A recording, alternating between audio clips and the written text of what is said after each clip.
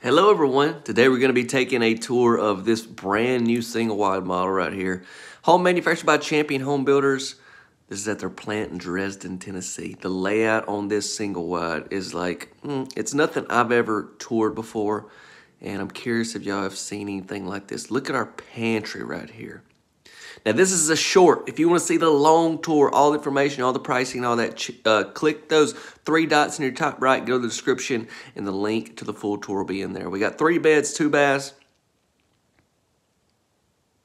Head on down here. Look at the dining spot with those sliding doors across front. Right there is going to be a utility room in there. Here's your main bedroom. Nice walk-in closet. And we're going to wrap things up with our main bath. You have an option for a tub as well. You can find all that out in the full tour. Be sure to drop a comment. Don't forget to subscribe. Thank you for watching.